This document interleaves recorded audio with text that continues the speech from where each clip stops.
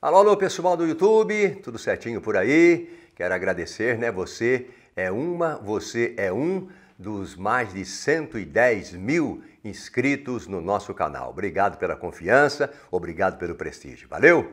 E quero mais, né? Continue se inscrevendo no nosso canal, beleza?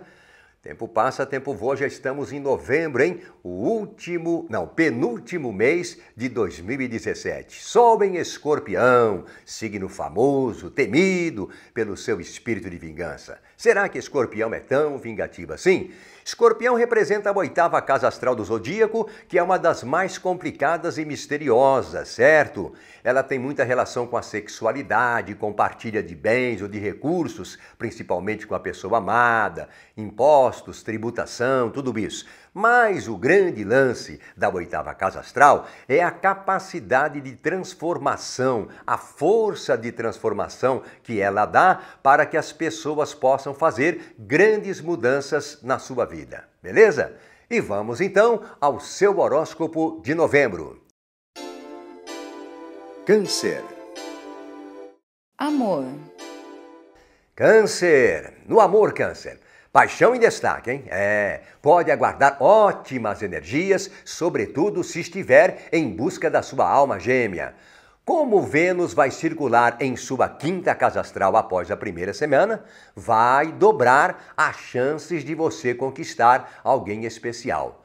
Sua intuição também estará muito forte, sentimentos à flor da pele e o seu poder de sedução estará imbatível, Câncer.